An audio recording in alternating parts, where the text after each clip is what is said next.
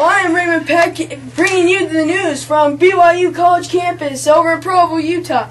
BYU was first established October 16th, um, 1864, at, known as Brigham Young Academy. It was first a high school, then stepped up to a college. Here's the weekly information. The, this week's focus is habit number one, be proactive. Monday, June 4th, the elementary computer lab and library will be moving to their new rooms today.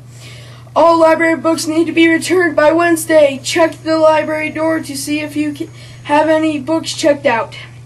Tuesday, June 5th. Student Leadership Council barbecue at 12:15 p.m. in the auditorium. And then second and third grade music recital at 6 p.m. in band room. Wednesday, June 6th.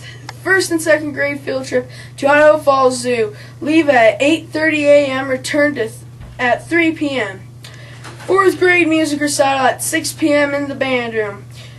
Those going to the Spanish trip will be checked out of class today, not any earlier. Spanish club trip to Puerto Rico leaves today at 3 p.m. Students excused at 2:30 p.m. They will return on June 14th.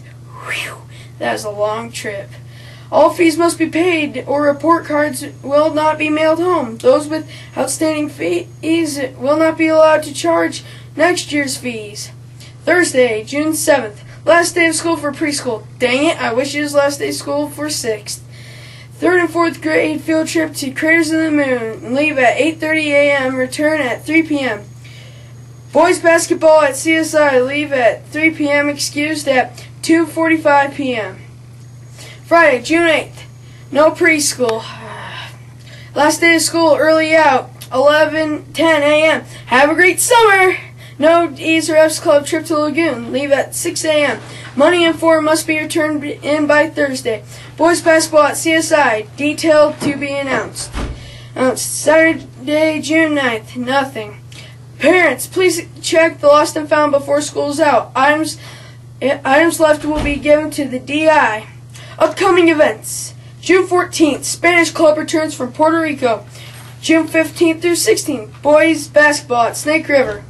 June 15th through 16th, girls basketball tournament at Carey.